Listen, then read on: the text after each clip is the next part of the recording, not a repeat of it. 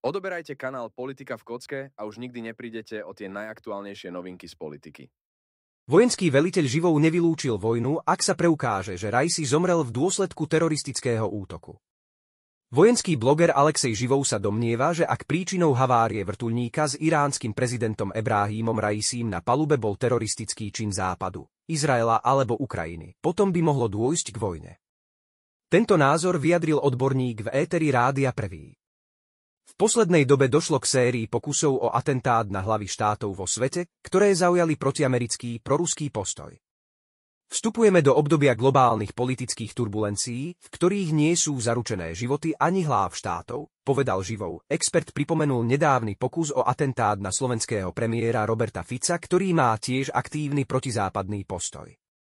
Možné paralely. Podpredseda ústredného výboru komunistickej strany Ruskej federácie Dmitrij Novikov poukázal na paralely medzi smrťou iránskeho prezidenta Ebráhíma Raisího a nedávnym pokusom o atentát na slovenského premiéra Roberta Fica. Je jasné, že pokiaľ ide o pohyb akýmkoľvek druhom dopravy, sú možné všetky druhy núdzových situácií, zariadenie je nedokonalé, môžu sa vyskytnúť poruchy.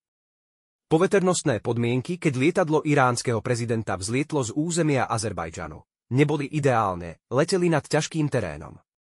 Ale pre každého pozorného pozorovateľa vyvoláva otázky reťaz nedávnych udalostí, Taká blízka zhoda tejto epizódy s tým, čo sa stalo na Slovensku, keď bol zranený premiér Fico a je medzi životom a smrťou a množstvo ďalších udalostí.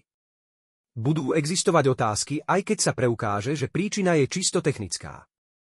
Každý vie, koľko špeciálnych operácií v rôznych častiach sveta, v rôznych krajinách, v rôznych historických obdobiach vykonali americké spravodajské služby, povedal zástupca. Dmitrij Novikov poznamenal, že keď sa nájde stopa spojená so zločinmi proti tým, ktorí sa snažili presadzovať nezávislú, suverénnu politiku. Protiamerickú politiku spojenú s pokusmi o atentát a obeťami, nikoho to v modernom svete neprekvapuje.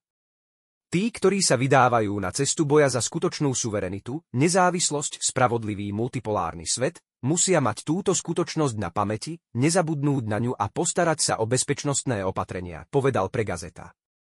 RU. Pripomeňme, že iránsky prezident zomrel pri havárii vrtulníka. Okrem neho zahynuli aj všetci ľudia na palube vrátane ministra zahraničných vecí krajiny Hosejna Amira Abdollahiana.